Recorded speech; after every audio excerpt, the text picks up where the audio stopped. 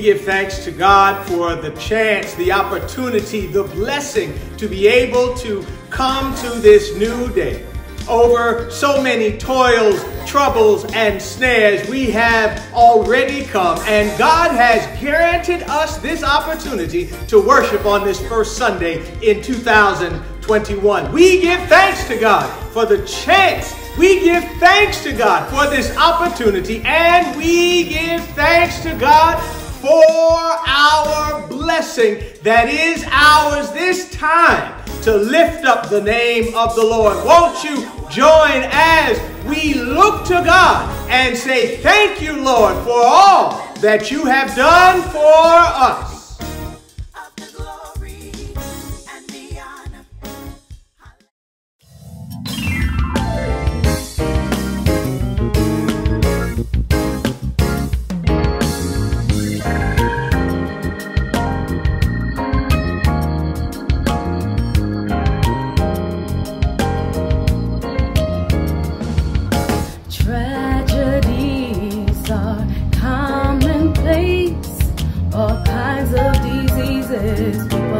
Friends,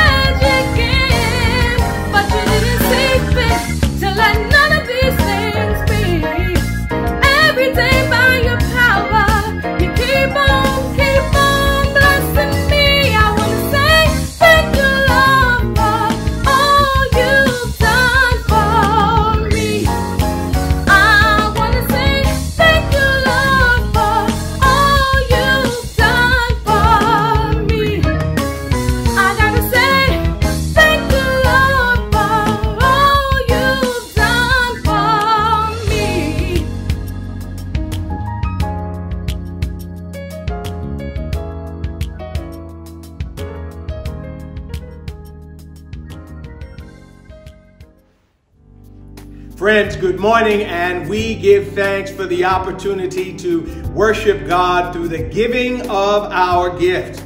We have a couple of different ways for you to be able to communicate with us at Bethlehem and to support the ministry that God has established here.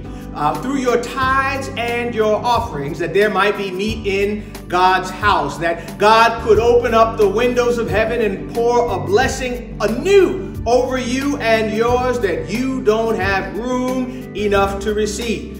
We ask for you to submit your donations to us either through our website uh, where you can go to see our mailing address, Bethlehem Baptist Church, 587 Reverend Tony E. Jackson Senior Way, Newark, New Jersey, 07107, or to have access to the Givelify app uh, or Givelify service to make your pledge and rather your donation online. Whichever way you look to do that, we are hoping that you will stay on top of all of the avenues for giving that exist. Number one, the tithes and the offering, and also our ongoing support in these tough times of people who are food insecure. Won't you give? Won't you be faithful? Won't you think of the needs of someone else? We want to be the house of bread in 2021 that God has established, and we seek your help to feed and to minister to people that God gives us access to. We give thanks for you and for your fellowship and for your association, and we hope that you will be faithful and cheerful in your giving. God bless you. Beloved, just a word about what we are about to enter into. We give thanks to God for this chance to get back to our normal schedule. We're looking forward to gathering with you in the coming week on Tuesday morning at 6 a.m. as we gather for prayer. Won't you all join us as we give thanks to God for bringing us into a new year and as we intercede for you and for your family members in this new time. We're also looking forward to gathering with you on Wednesday at 7 p.m. for our normal Bible study. And we're looking to begin a new season as we have left Advent and, and leaving Christmas and moving now as we prepare to march forward in 2021. We hope that you'll join us for study. And on Thursday, we're coming back together for prayer at 6 p.m. We hope that you will be able to join us then, uh, 6 p.m. on Thursday for prayer. We give thanks to God for this opportunity and the ones that God will give us to be able to gather. Let us join up and go to God together.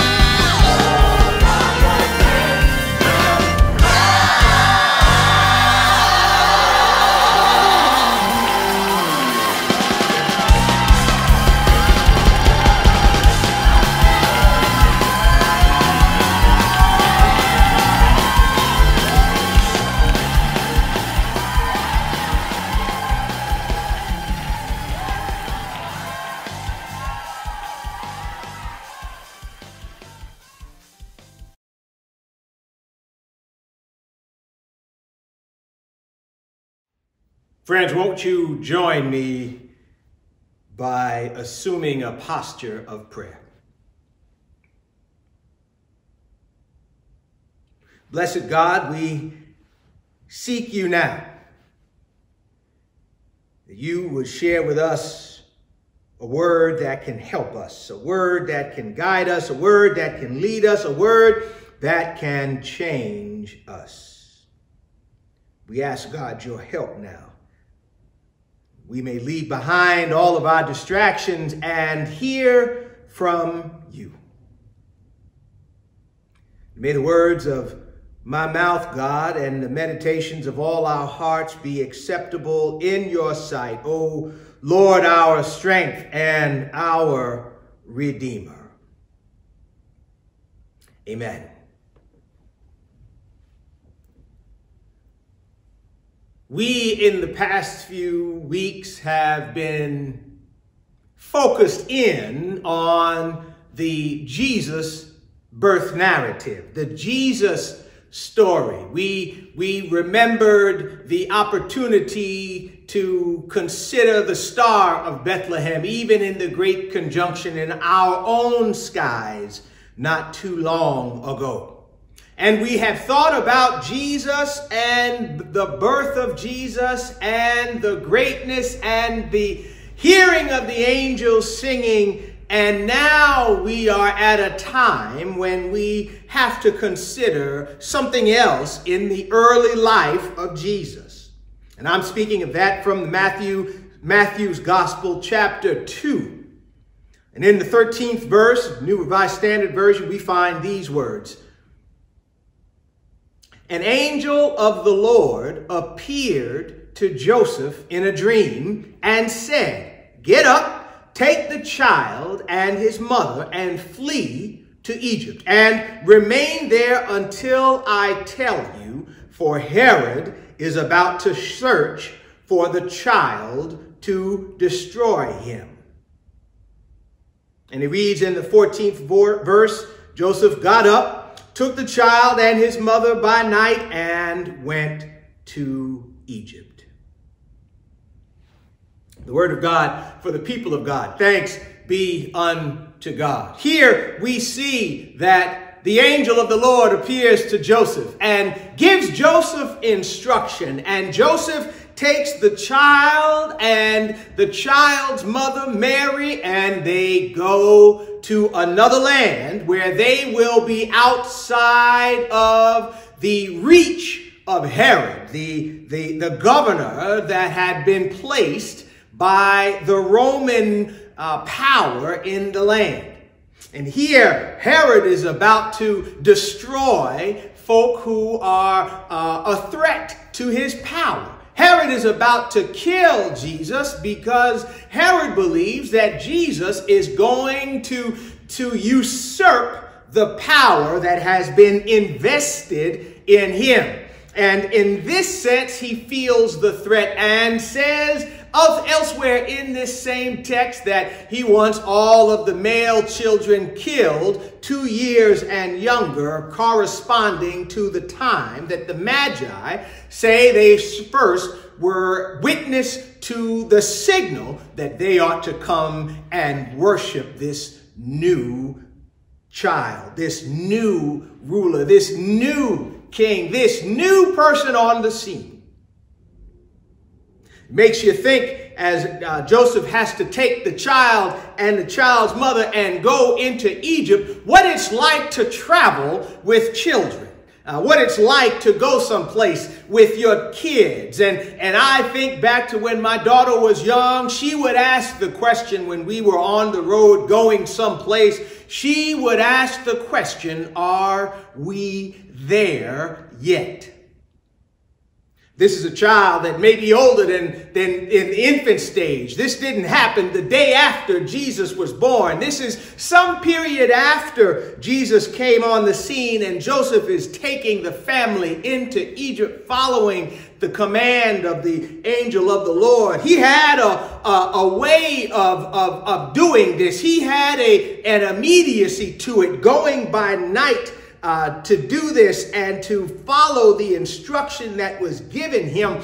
And it is a choice, though, that Joseph makes. It is a choice, though, to follow the instruction that was offered. It is a choice to go into the next place. And as we think about where we were just a couple of days ago, God did not offer us really the choice to step into 2021 after uh, saying, you know what, I want you to move from this place to that place. It kind of was something we had to go through. However, we are now in this place and we have been called out of that year and into another one. And yet, that which was threatening the Holy Family the day after they fled to Egypt was still alive. They had to remain there until Herod died. And one day they get the instruction to come back, and even then, Joseph is, is, is warned about going back to where he wanted to go. He went elsewhere into Nazareth, fulfilling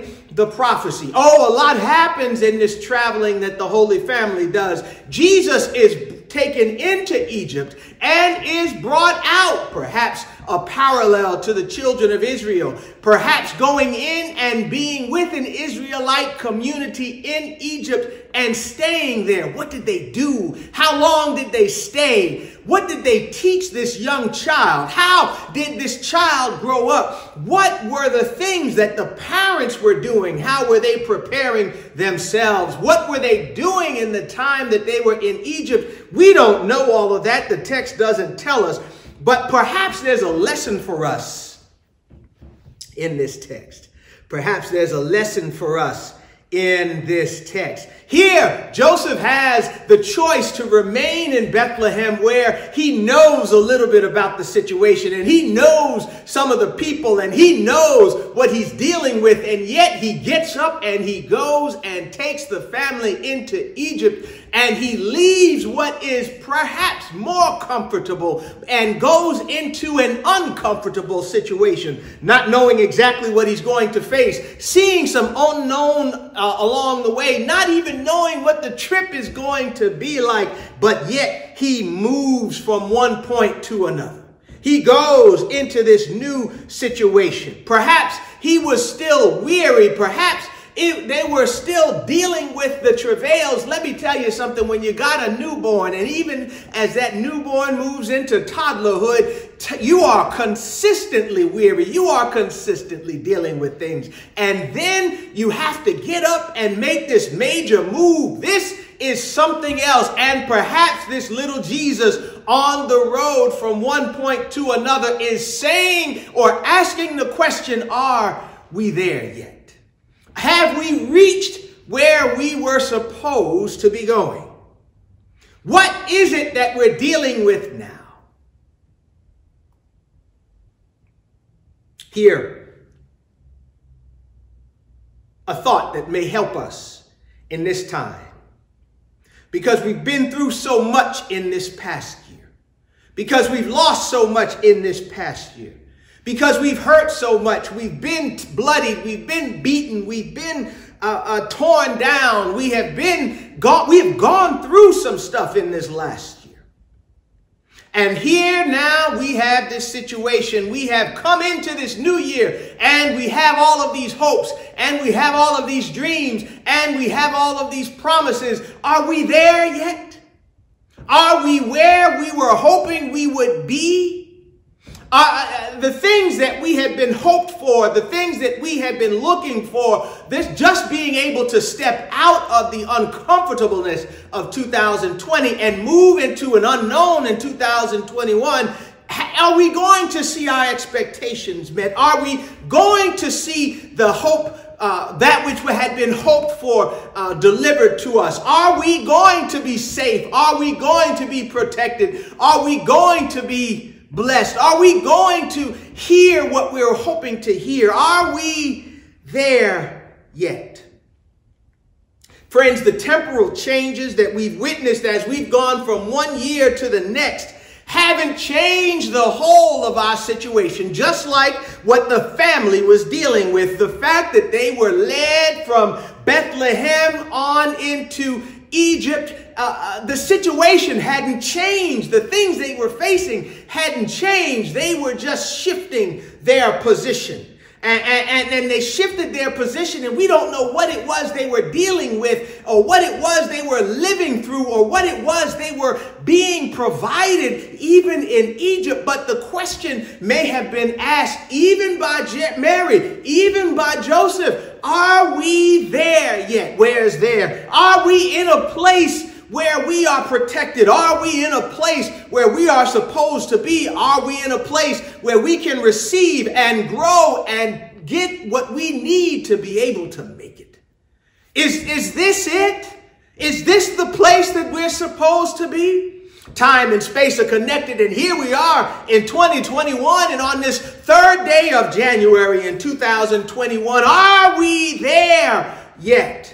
Where's there? This place that we were hoping for of peace, this place of normalcy, this place of, of rest, this place of blessing, this place of, well, I can get back to the grind and I can focus in on what I need to focus in on. Are we there yet? I believe that God may be calling us from Judah into Egypt. God may have called us from 2020 into 2021 and into a new time and into a new place. And let's make the most of our Egypt experience while we are here because one day we will be called out into another time and into another place. And in this new time and in this new place, more may be required of us. New things may be required of us. As Matthew turns the page from the second chapter to the third chapter, we start to talk about John calling for his cousin, the one who is to come. And we start to talk about Jesus beginning the new ministry. Things move quickly in the text after they are returned from Egypt, and we perhaps are going to be dealing with a quick transfer and new things coming at us fast and furious. We need to be ready. God may be calling us, beloved, God may be calling us to a place of repose. You may have come in hot into 2021, as it were. You may have been pushing on up until the last day of the year. You may be tired. You may need rest. You may need respite. You may need some time just to recharge your batteries. Oh, Monday is coming and the new work week will hit us, but perhaps you and me, we need a rest. And we need to live into this resting place. We need to be in this new time and in this new space able to recharge our batteries. We need to engage in those spiritual practices that lift us up, that, that charge us up, that, that make us new, that get us ready for that which we are going to face. We need to be in a place of repose where you can lay back and rest and sleep and have time to deal with the inner person, the, the spiritual person, the, the person that needs to be propped up and readied for what we are going to face. We are in a place of repose, and now that you have been called into it, don't leave before it's time to go. Don't leave before the angel says, okay, that's enough. It's time for you to leave. Stay there. Don't, hey, listen, here's the next thing. When you've been called into this place and you've been called into this time, do like Joseph did, go. Do like Mary did, go. Do like they did with Jesus, you go. And then you get into this new opportunity to rest. The choice is yours. You might choose to stay in the place where you are at heightened awareness and heightened action and, and heightened responsibility. And perhaps that's not what God is calling you into. God has said, I need for you to come into this new land. It may be uncomfortable. It may be strange. It may be something that you don't know how to face, but you need to rest. you need the repose. God may be calling us into a place of repose. Do not reject it. Go in. It can, it can wait. Uh, uh, your cell phone can be turned off. Your, your television can be turned off. Take a few moments and get on your knees and take a few moments and open up your text and take a few moments and reach your hand up into the air and say, Thank you, Lord. Take a few moments and rest. God may be calling us to a place of repose. And, and, and, and in that, God may be calling us to a place of readiness, a place of preparation, a place where, where you might not only get the rest you need, but you might get further instruction. What did Joseph and Mary teach this child? What conversations did they have? Think back I saw some pictures of my baby today as she was a young girl. I just wanted to go back into those moments and think about those lessons. Think about the things we taught her. Think about the things we went to go see. Think about the times that we took a walk. Think about the times that, that she was playing in the park. Think about the times where we have gone through these things and we have talked about what it means to be a person in this society. Oh, maybe you are getting ready. Maybe, maybe you are reading more. Maybe you are listening to more sermons. Maybe you are seeking more wisdom. Maybe you are in a place of readiness, that,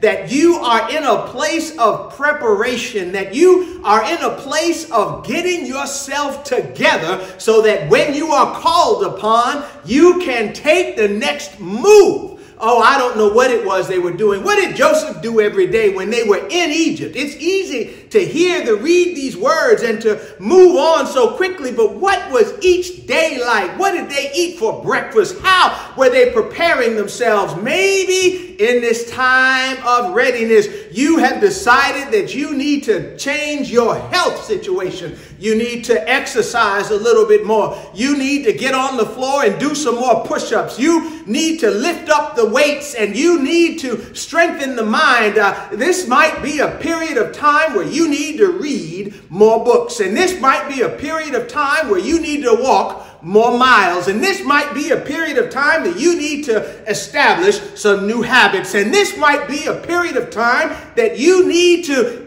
clean up what it is you're eating. This might be a period of time that you change the way you're thinking and that you change the way you're speaking and that you change the way you're relating, that you take inventory of yourself and reflect on that which God is leading you to. God may be leading you to a place of readiness. You can do what you want to do, or you can do like Joseph, who, who said, We going when the angel said go. You can be like Mary, who left when the angel said it's time to move. And they took Joseph and Mary and Jesus, and they all went into this new place. Do not reject the call that God offers in this day to a new place of readiness.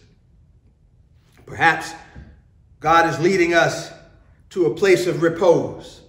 Perhaps God is leading us to a place of readiness. And through your rest and through your repose, God may be then ready to lead you into a place of responsibility. You may be more able to respond and hear the word of God and respond to what God says and move according to the will of God in this place of, of, of repose and in this place of readiness and in this place where you can go and follow into a new responsibility. Here, we get the chance to see Joseph leaving Egypt and moving into uh, Nazareth. And this is showing us that he is ready to respond he is ready to act. He is ready to do. And maybe in this new 2021, God is waiting for you to do what perhaps you didn't do the way God wanted you to do in all of the years past.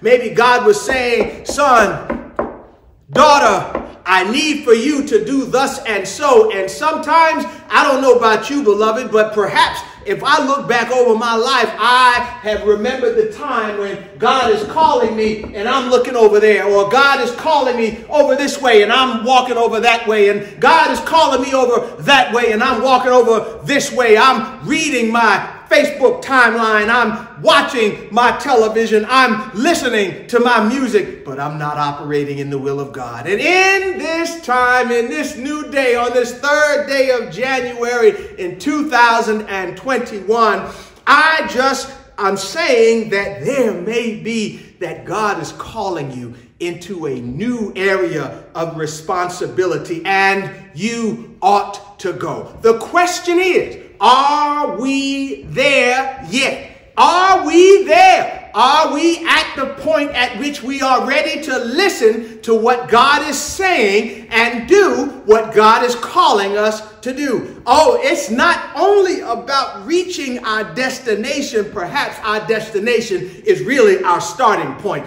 Are we there yet? Are we ready are we ready to be obedient? Are we ready to be mature? Are we ready to be discipled? Are we ready to take action? Are we ready to release that which we ought to just go on ahead and give God control over? Are we ready to take the responsibility that God is requiring for us to take? Are we there yet? Are we there yet? Are we at the point like Joseph and Mary and Jesus were when they were individually and collectively called upon to do a thing? They were ready to respond with a yes and a yes and a well, I don't know, but a yes, yes, yes. And this is where we need to be right now in this space, in this time, as we get ready to launch upon into a new year. Are we ready? Are we there yet? Are we there? Have we been through enough to let us know that we better do this God's way? Have we gone through enough for us to know that we can't do this in our own strength? Have we gone through enough for us to know that tomorrow is not promised to any of us? And while it is day, we ought to work, for night comes when no one can work. Are we there yet? Beloved, are you there yet? Fred Sullivan, am I there yet? I like to think that I am.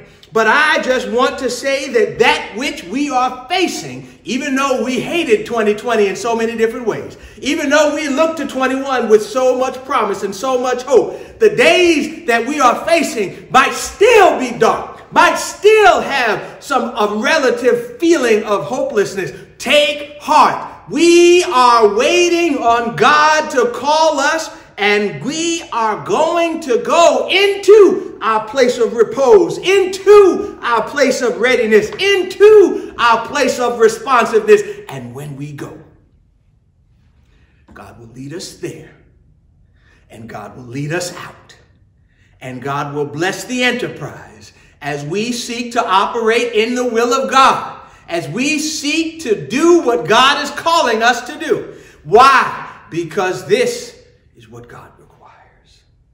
We give thanks to God who, who sent Jesus into the world, who did this. When it was time to move, Jesus moved. When it was time to rest, Jesus rested. When it was time to, to, to, to prepare and to be ready, Jesus got ready. And when it was time to go up on that cross and be lifted high and stretched wide, Jesus was in a place of positive response and went through for us.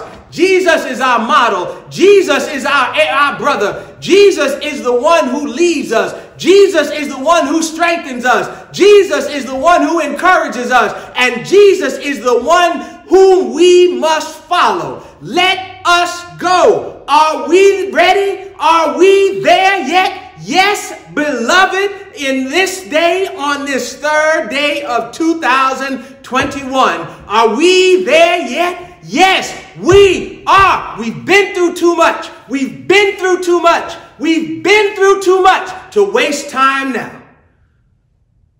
Let's go to where God calls. Pray with me now.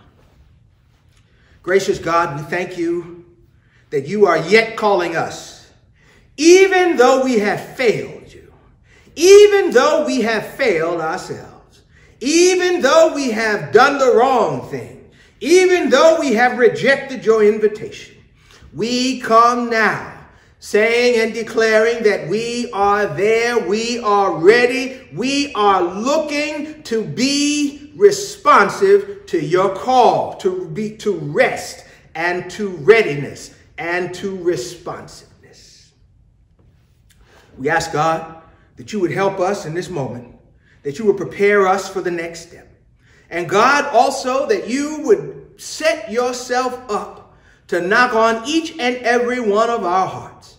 For those of us that we invite right now as we open up the doors of our church, even in prayer, God, we ask that if one is there and is looking to connect with Jesus for the first time, able to confess that Jesus is Lord, God, we ask that you would raise them up now and that you would help us to play the role you have ordained for us to play in their development. But if all are with you at this time, God, we ask that you would help us each and every one to live up to that which we have already committed, to that which you have already called us. God, introduce us to the people that you want us to be and help us to go forth in this new year, knowing that there is no time to waste. We are there. We are ready. And we are looking for you to lead us on. In the name of our Lord and Savior, Jesus Christ, we pray. Amen. Beloved, we're grateful to have this time together. And as we prepare now to transition into our communion time, as we sit around this table to which Jesus invites us to gather and to assemble with the saints from 2,000 years ago to today, we ask that you would lead us and guide us into this fellowship for the first time in this year.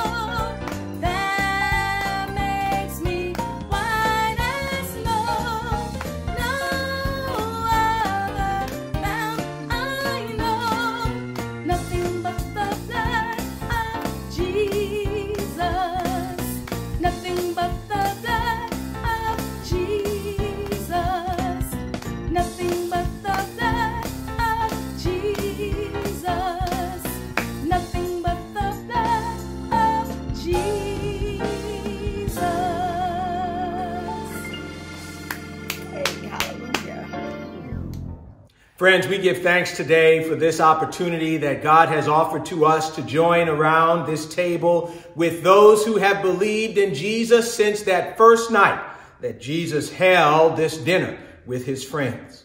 We give thanks for this chance to come around this table one more time. And while we are doing this virtually and closing in on 12 opportunities to have done this virtually, we yet give thanks for the opportunity for you to gather in your home, as, as so many did in the early days of the church, with your elements and your family members, and remember the name of the Lord.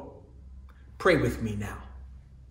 God, we give thanks for that which we are about to take into us.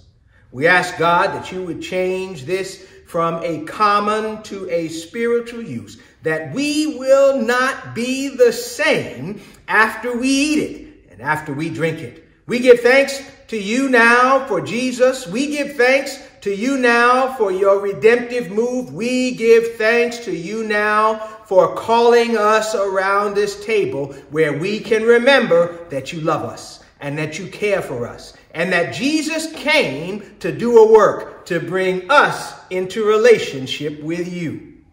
Help us now in this moment as we remember Jesus, our Lord. In Jesus' name we pray. Amen. Beloved, the Lord Jesus, on the night of his arrest, took the bread, and after he had given thanks, he broke it and he gave it to his disciples, saying, This is my body given for you. Take and eat. And as often as you eat it, do this in remembrance of me. And I'm ministering in the name of our Lord and Savior Jesus the Christ. Say, take and eat and be thankful in your hearts.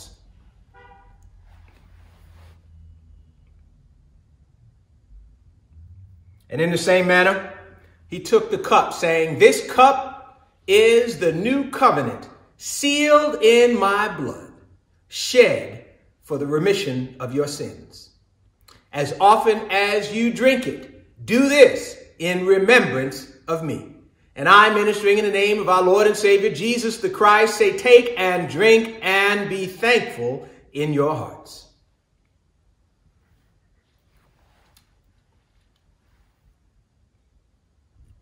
Every time you eat this bread and drink this cup, you proclaim the saving death of the risen Lord until he comes.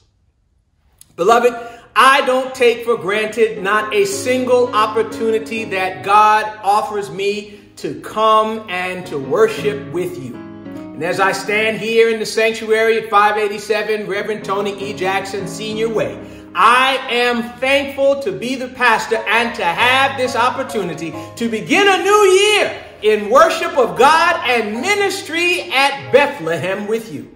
And I look forward to all the opportunities that God will give us in person and virtually in this year. And ask that you be always asking that question to yourself Am I there yet? And I hope your response will be yes. I am ready for repose. I am ready for readiness. I am ready for responsibility. And I will recall and I will move as God calls me to move. I will go where God, where God calls me to go. I will do what God calls me to do. This is better than a resolution. This is a commitment. This is better than a commitment. This is a statement of who we are. Until we have the opportunity to come together again, please receive this benediction. And now unto the one who is able to keep us from falling and to present us before his glory faultless and with exceeding joy. To the only wise God, our Savior, be glory, majesty, dominion, and power, both now and evermore. And the people of God said, Amen and amen. Go in peace, beloved, and may the peace of God go with you.